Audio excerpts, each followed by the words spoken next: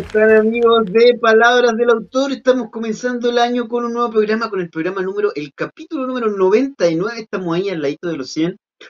Contentos porque seguimos avanzando con este programa que eh, hacemos para poder difundir y promover lo que es eh, a nuestros autores, nuestras obras más recientes. Hoy día estamos con una gran amiga, Ivonne Díaz Cornejo. Bueno, te voy a presentar luego, Ivonne. eh, está con nosotros porque ella es compiladora y coautora del libro Pucará, el reino muerto vive todavía, que se publicó en septiembre de este año. Em, así que, Ivonne, bueno, te voy a presentar para que podamos comenzar este programa. Eh, antes sí voy a mencionar, estamos atrás, ten- tenemos de fondo la Biblioteca Nacional de Finlandia. Estamos haciendo un recorrido ahora por todas las bibliotecas del mundo. Nos gustaría pronto hacer un recorrido regional. Vamos a ver si eso se nos hace posible este año. Eh, pero eh, eso, y bueno, comentar que Ivonne Díaz Cornejo es poeta, escritora y editora. Lleva más de seis libros publicados y forma parte de dos agrupaciones literarias femeninas, tanto en Rancagua como en la comuna de Granero. Participa además en eventos literarios en la ciudad de Osorno junto a otras autoras de la región de los lagos. Ivonne, un- como, como siempre, un gusto tenerte por estos lados. Hola, eh, agradecida también de mi parte por la invitación y porque mm, eh, es tan importante los espacios para, para publicitar, ya sea a través de la, de las redes sociales como espacios físicos. Sí, claro que sí. Bien, pues mira, vamos a comenzar entonces. Este, este libro es un extenso poemario, bueno, cuyos textos fueron creados por autores de Rancagua, Colegua, Graneros, Villa La Compañía y Machalí, en torno al Cerro Pucará, santuario natural y monumento arqueológico, porque, por constituir también uno de los vestigios más australes del Imperio Inca. Cuéntanos en modos generales, ¿qué encontramos en él? Bueno, en este libro encontramos más que todo es poesía y es un manifiesto hacia este cerro grande que está en la compañía y que de pronto cambió de nombre eh, llamándolo Pucará, ¿cierto? Porque es un vestigio inca y del cual muy pocas personas lo saben y, mm, ha estado eh, maltratado, ha sido, ¿cierto? Eh, profanado.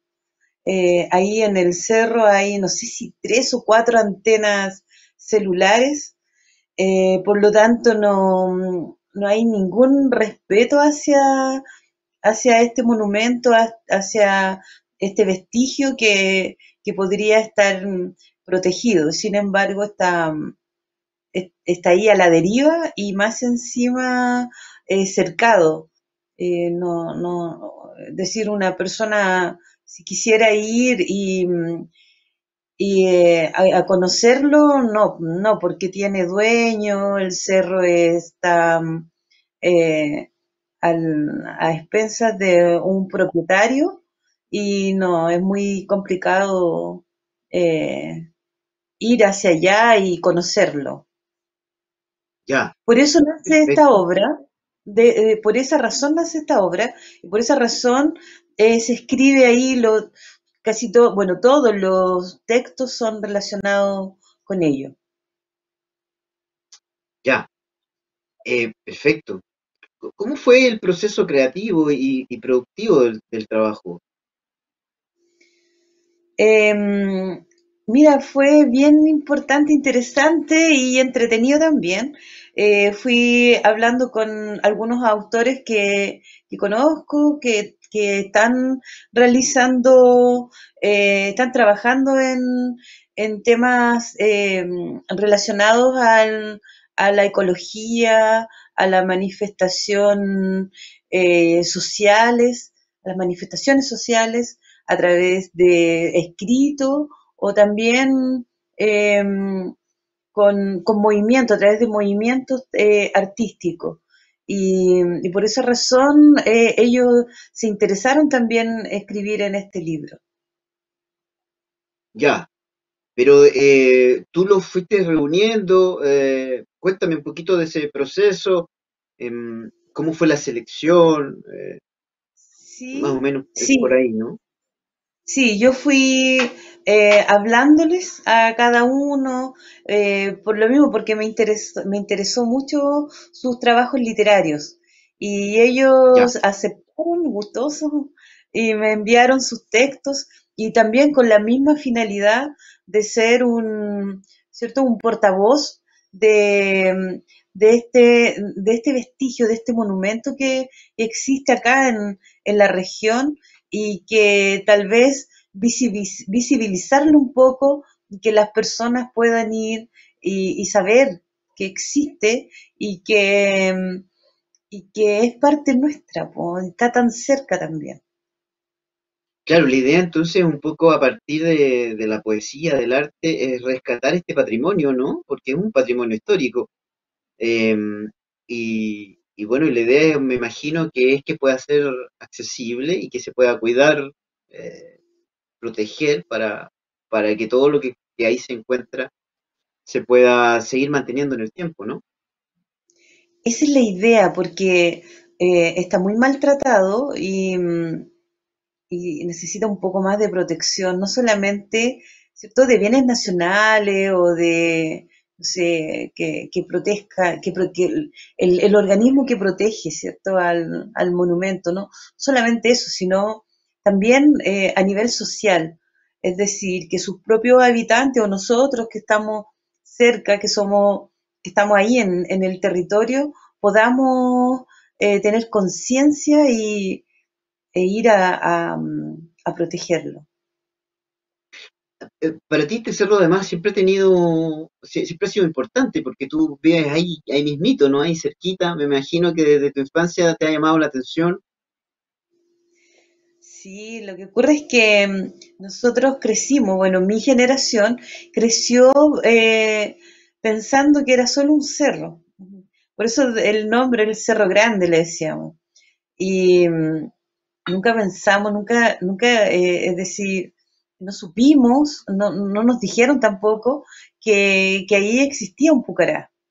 y que mm, era un, era algo tan importante y tan interesante.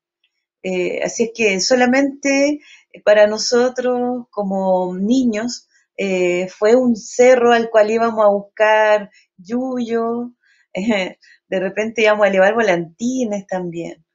Entonces no, no representaba más que eso.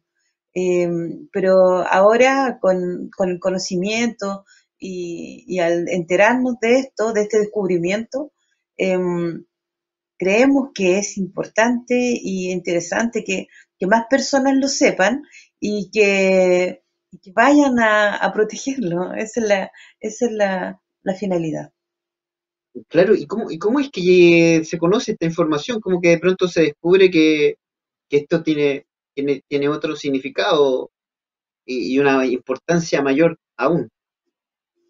Mira, yo no recuerdo en qué año lo descubrieron y cómo lo descubrieron, no, no, no tengo tanto, no, no, no lo sé tanto, pero sí que cuando se, se produjo el descubrimiento eh, a través de las piedras y qué sé yo, eh, de, un, de, un, estudio arqueológico, eh, vino mucho, eh, llegó, la prensa, eh, acordonaron el lugar y, decidieron que había que protegerlo.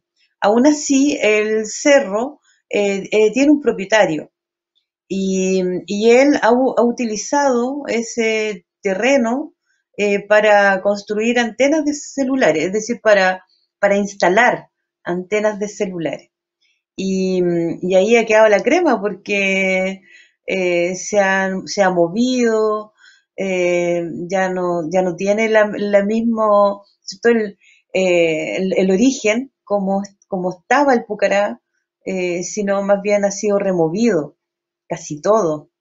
Y eso ya es profano, entonces ya no debería, no debería haber, no debería haber sido. Eh. Así que eso, bueno, más lo legal está eh, el alcalde, qué sé yo, no sé, pues la gobernación está haciendo algo, pero, pero nosotros como habitantes, creo yo, eh, deberíamos hacer una, una manifestación más que esto, más que lo artístico, yo sé que eh, ha habido otra intervención artística del Pucará, me parece que lo hicieron los pintores hace tiempo atrás, en los años 90 creo que fue. Y, y ahora nosotros con, con este libro netamente poético. Ya. Oye, eh, ¿quiénes participan en esta obra y, y de qué manera? Oye, Tengo entendido que varios de ellos, varios de ellos también publican con nosotros.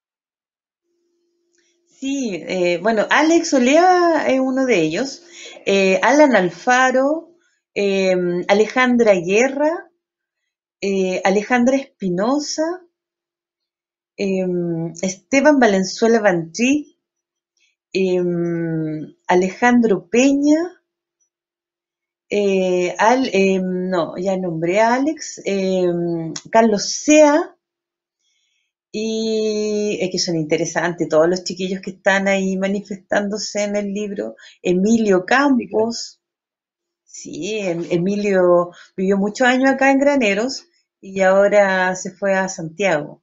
Entonces, para él es, un- es- tan importante, interesante eh, este libro, y es tan notorio también. Tiene mucho que ver con su, con su infancia, con su, con su vida de adolescente también.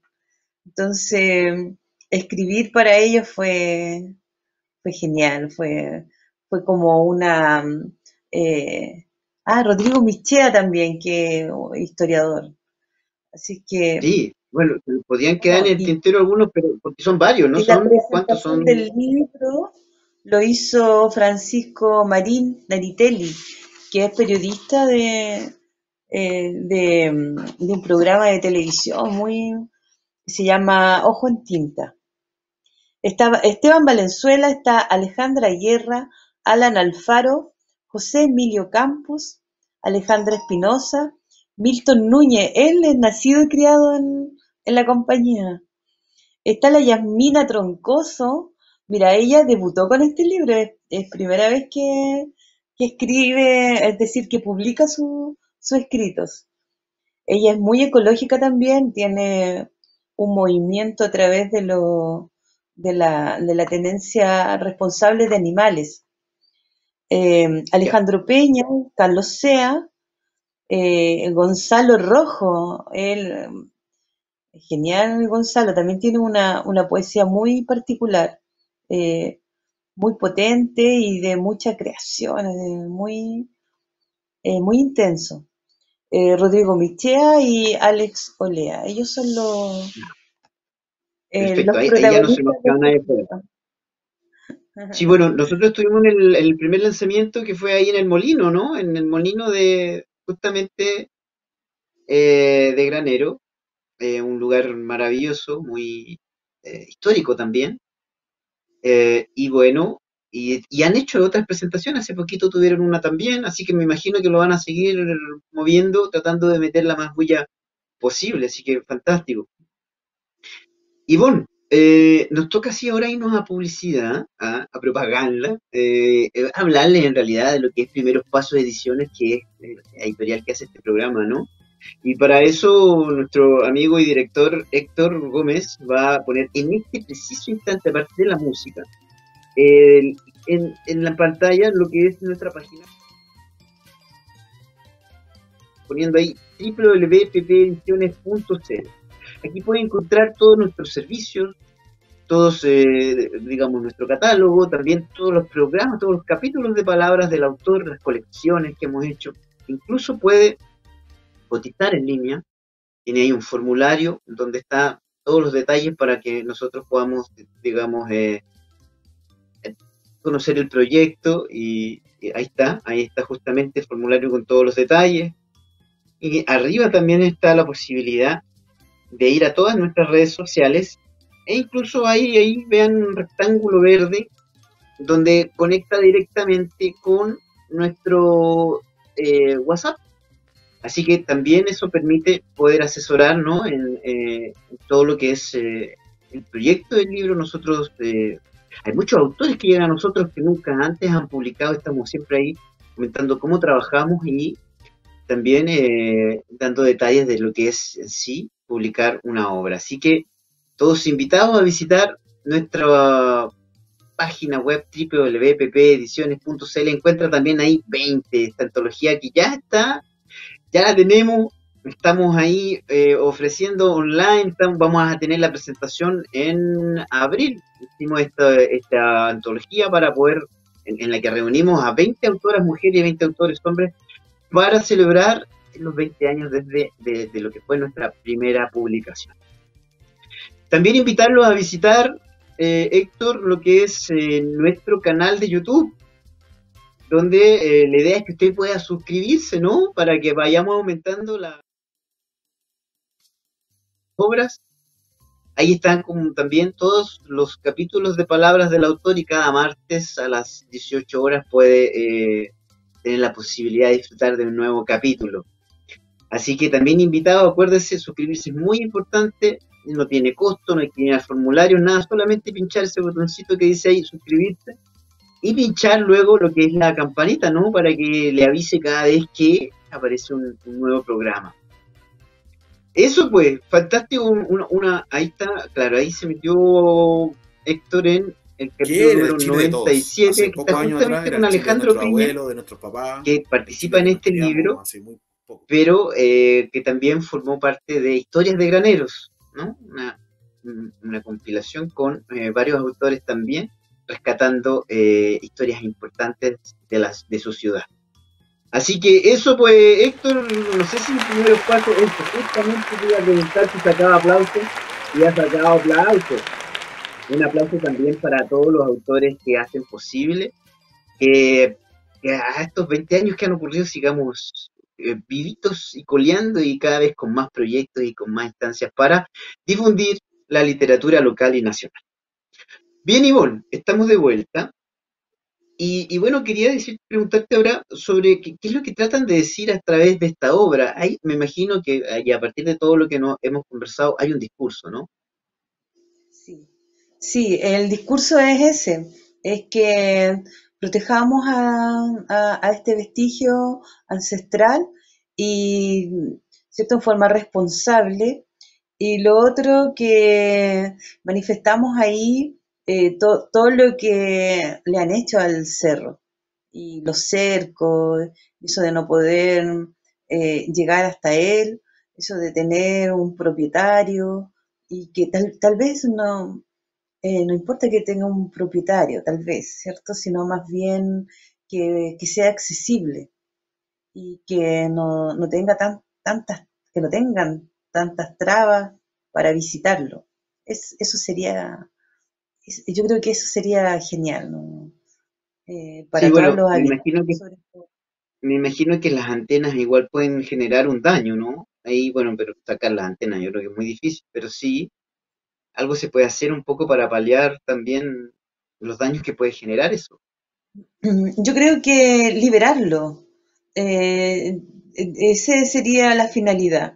Claro, las antenas ya no se pueden mover, ya es muy difícil, pero sí podría, podría haber un acceso más, más libre para que cualquier persona pudiera ir y acceder, estar cerca del Pucará, em, la importancia que tiene y también para los habitantes de ahí, que, de Villa La Compañía, lo interesante que es estar en ese lugar que tiene tan, tanto patrimonio. No solamente está el Pucará, está el molino, ¿cierto? Está el Cerro Chico también, y ahí, bueno, se, también se intervino a través de, la, de una copa de agua. No sé, los canales de regadío, todo tiene que ver con, con, nuestro, eh, nuestro pasado, eh, a través de los jesuitas, la iglesia, las casas, construcciones, que sobre, han mm. sobrevivido a los a los tantos terremotos que, ha tenido el país y que tiene que ver con la historia de nosotros, que de Manuel Rodríguez, de los hermanos Carrera, eh, la independencia de Chile, etcétera, de las mujeres, bueno, de la Quintrala, aunque la Quintrala no vivió ahí específicamente, pero sí tiene su, hay, hay algo conectado con ella también, entonces aparte las leyendas, es un, es un territorio muy rico en, en historia, entonces protegerlo, cuidarlo, visitarlo, eh, difundirlo, eh, no solamente eh, es, es genial para el turismo local, no solamente para eso, sino para las nuevas generaciones también. Claro, para que vayan conectándose con su historia, me parece fantástico. Y ahí han, habido iniciativas así con lugares naturales también, santuarios naturales dentro de la región, que han permitido hacer como de estas cosas, proyectos que permitan eh, hacer es- especie como de parques protegidos, como para que la- eh, incluso con senderos y con, con, con- con información para que la gente vaya conociendo. Todo eso sería maravilloso, ¿no, Ivonne? Que pudiese ser posible. Bueno, espero que, que todo lo que están ahí, todo el, el- esfuerzo que están haciendo, todo este trabajo intelectual maravilloso, eh, finalmente llegue a buen puerto. Quería preguntarte, sí, creo que es importante mencionar, eh, porque, ¿por qué lo han subtitulado El reino muerto vive todavía? Bueno, es una frase de Neruda y que lo musicalizaron los Jaivas. Eh, pero tiene que ver también con esto, que con este, ¿cierto? Con este monumento ancestral como es el Pucará y que, y que repercuta porque eh, no ha muerto, porque muchos dicen ya, porque ya ha sido profanado, qué sé yo, no, las piedritas las movieron y qué sé yo, ya, ya no existe, pero no, pues existe. ¿cachai? Ahí está, y el, el, el monumento está, es- está la historia, eh, hay un vestigio todavía. Entonces, es un, Todavía se es, puede hacer es algo. presente, es- es- está manifestándose también.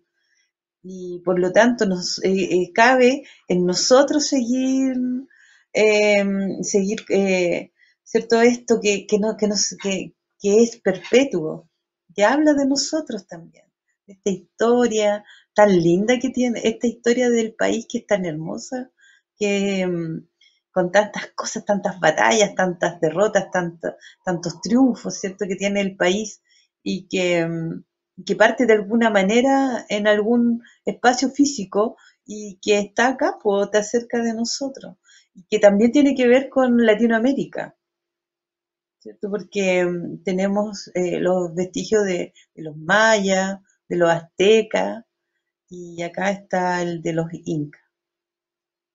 Claro que sí. Oye, Ivonne, ¿qué te parece si, si nos comparte algún, algún parrafito ahí, algún poema, algún verso? Aquello que quisieras, aquello que quisieras destacar, quizás de tu autoría. Parece que lo tienes ahí preparado, ¿no? Sí, sí, acá está. Ya, Em, bueno, yo al- a estos escritos no le, no lo, no los, no los titulé, así es Ya, que los voy a leer. ¿ya? sí. Es la copia de un reino, de una asamblea, de una vasija vacía, en la cuenca profunda de un día al aire, por el aire, desde el valle nupcial, es decir, desde el valle este al valle oeste, escenario poderoso, avisado en las alas de un cóndor. Llueve sobre el reino de los últimos días, es la templanza de un pueblo, una torre que se derrumba, el montículo de piedras que se derrumba, las voces que callan, el ruego de una tribu a sus dioses en el abandono, en el aire por el aire, es una tribu que fallece, sin el son de un viejo tambor. Se derrumba esta torre, empinada de piedras. No hay fronteras, no existe ya el cerco. Vuelve la vegetación a ocultar el templo en un día nublado. No hay más muertos, se guardan los granos. Se derrumba la torre, empinada de piedras. Fantástico. Maravilloso.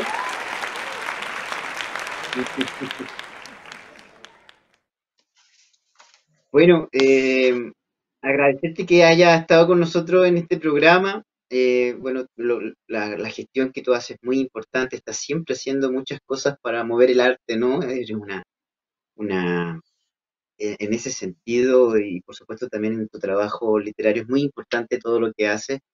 Eh, una gestora cultural reconocida, ¿no? Aquí en la región, así que fantástico poder eh, estar contigo aquí y también eh, poder hablar de este libro que la verdad tiene un fin muy importante. Siempre hay que estar mirando hacia atrás. Eh, es, digamos, fundamental para, para ir generando cosas nuevas, ¿no? Saber qué pasó antes. Y aquí hay mucha historia, lo has dicho tú, no solamente en el Pucará, sino en toda esa zona. Y ojalá eh, todo este ruido, todo, esta, esta, todo esto que se está haciendo eh, pueda hacer que eh, finalmente se, tome conciencia y se pueda valorar mucho más todo lo que ahí existe. Gracias Así que, sí, yo, yo pienso que conocer el pasado eh, es importante para crecer, para, para el futuro. Eh, por lo tanto, tenemos que conocer nuestro pasado, nuestras raíces y, y hacer un manifiesto así como lo hicimos con, con, los, con las chiquillas y los chiquillos en este libro Pucará. Eh, es, es, notable, no solamente nosotros como poetas, ¿verdad? manifestarlo, sino también tal vez los fotógrafos, ¿cierto? Los músicos, que pueden, eh, no sé, decir tanto sobre esto. Claro que sí. Un abrazo para todos los participantes de esta obra y para ti, Ivonne, por supuesto. Nos seguimos, nos, encontraremos de seguro en otro programa porque estás siempre creando. Así que, y, también has publicado muchas veces con nosotros, así que fantástico. Te lo agradecemos y, eh, y bueno, nosotros también eh, contarles a la gente, pues que estamos como siempre todos los martes a las 18 horas y que, bueno, ahí nos, seguimos encontrando entonces para seguir disfrutando de nuestros autores. Eso pues, que estén muy bien Ivonne, estamos al habla. Chao, chao. Chao, que estén muy bien.